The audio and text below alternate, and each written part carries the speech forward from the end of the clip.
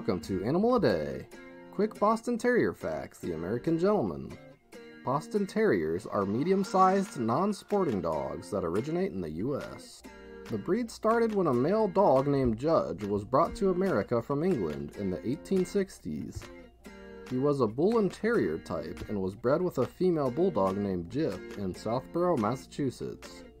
Their puppies were then shown off in Boston in 1870 and quickly became popular, with the breed getting its own club by 1889, and the dog finally getting named the Boston Terrier by 1893.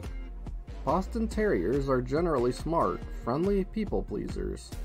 This fact, along with having a tuxedo like appearance, is why they were given the nickname of the American Gentleman. The dog is the official breed of both Boston University and Massachusetts as a whole. Use the link in the description for the full video, but anyway.